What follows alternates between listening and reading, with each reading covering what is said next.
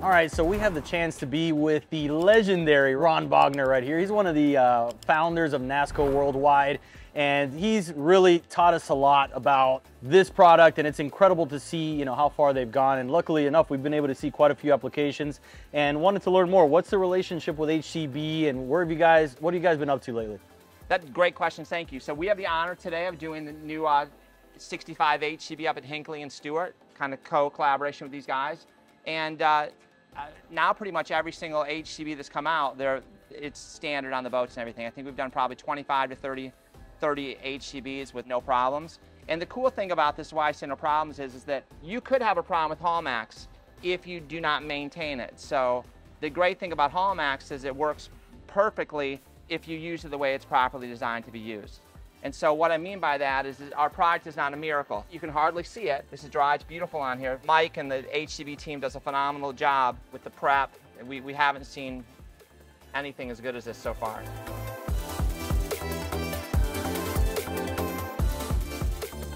So take a look at the bow thruster right here. You want to apply this stuff everywhere that you possibly can. They actually had the blades out of there once before while they were applying the Hull Maxx. So they did that first and then they installed everything else in between that. Obviously when you move around those props, it'll knock off any buildup that you have, but you definitely want to get every little bit and nook and cranny in there because you do not have the friction of the water when you're moving the boat knocking off the buildup from within this. So you want to be very detailed when you get up in, in crevices like that.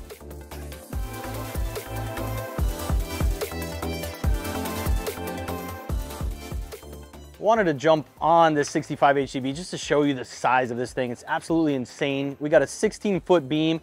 You got six Mercury Marine V12 Verado outboards pushing this boat about 70 miles an hour. So absolutely incredible. And you really have to see this in person to get that the, the, feeling of it. So just take a look at the summer kitchen you have here. They're, they're currently putting down teak on the floors. This is a uh, polished teak here in this summer kitchen. There's refrigerators, storage, sinks on both sides. I mean, it just is endless. Huge oversized top, full bench here on the back piece. You got a retractable dining room area, five release marine helm chairs, triple 24 inch Garmin MFDs, huge enclosure, just an impressive, impressive boat all the way around. Not only are they applying teak on the entire deck, but they're gonna put them up here on the cap as well, which is really gonna give this a nice sport fish vibe. They added frigid rigid coolers, which is customary on a lot of the HCBs, which hold drinks both port and starboard. And just check out this jump up piece to be able to get excellent visibility over this massive console.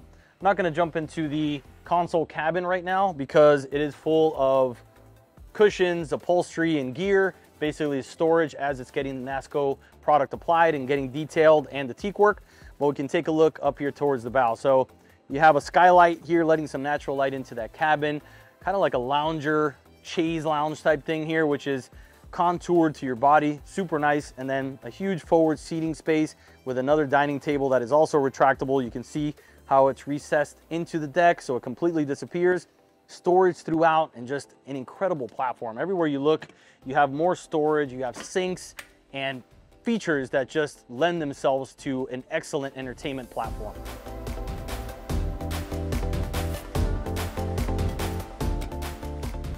Guys, I want to say why HCB has been such a great corporate customer for us, and they've done such a phenomenal job of managing customers' expectations. From the get-go, they let people know clearly this product has to be maintained.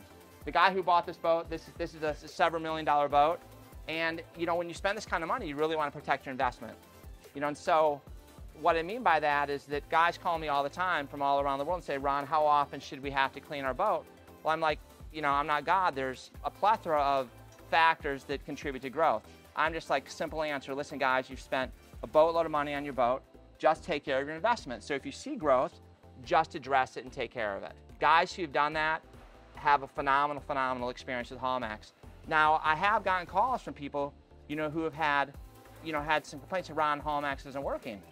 And, you know, but then I've asked them, well, listen, how often do you clean your boat? Well, listen, some guys said, Ron, we haven't cleaned our boat in three months.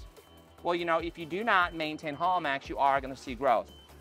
So yeah, we've actually seen it ourselves since we had it applied on our Costa, and we've had a firsthand experience on all the, you know, pros and cons. Like you say, there's no product that's perfect. Right. You guys are very clear with that from Yes. the get-go and, and managing expectations is the one part that I definitely grab from that.